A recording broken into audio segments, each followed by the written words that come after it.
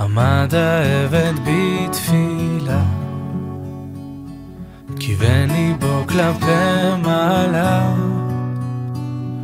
וכך ביקש בבכי, נא חסד עמדי, ואמצא אישה לבן אדוני. טרם קילה לדבר, והנה רבקה כשעל שכמה כדה יוצאת אל הבאר, וירוץ לקראתה אליעזר. לפי שראה שהמים עלו לה לעזר, טרם קילה לערער.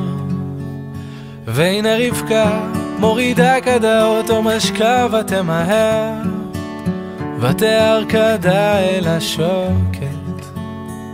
על כן ראה משמיים את אשת החסד.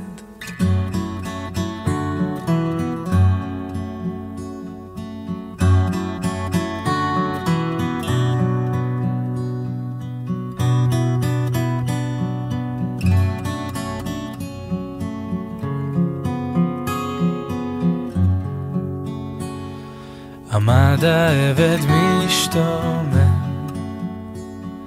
וישתחווה להשם אשר צלח דרכו ולא עזב חסדו והמיתו מעם בית אדונו. טרם קילה לדבר והנה רבקה כשעל שכמה כדה יוצאת אל הבאר וירוץ לקראתה אליעזר לפי שראה שהמים עלו לה לעזר, טרם קילה לערער. והנה רבקה מורידה כדה אותו משקה ותמהר, ותיאר כדה אל השוקת.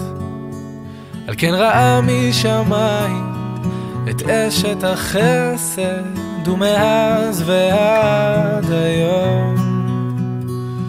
ומאז ועד היום ארבעים יום טרם יצירת הוולד יוצאת בת קול אלו קול במחול ומכריזה על זיווגם של כל אדם ואדם. כן אברהם ושרה כן יצחק ורבקה